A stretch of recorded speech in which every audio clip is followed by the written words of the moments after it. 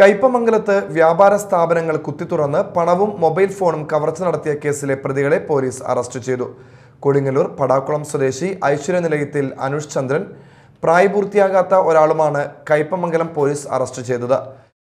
C C T V കേന്ദ്രീകരിച്ച് നടത്തിയ അന്വേഷണത്തിലാണ് പ്രതികളെ തിരിച്ചറിഞ്ഞ് പിടികൂടിയത്.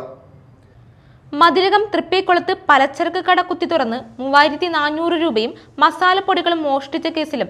എടത്തിരുത്തി ചൂലൂരിൽ റിയൽ മാർട്ട് എന്ന സ്ഥാപനം കുത്തി തുറന്ന് പണവും മൊബൈൽ ഫോണും ഉൾപ്പെടെ പതിനെട്ടായിരം രൂപയുടെ സാധനങ്ങൾ മോഷ്ടിച്ച കേസിലുമാണ് അറസ്റ്റ്.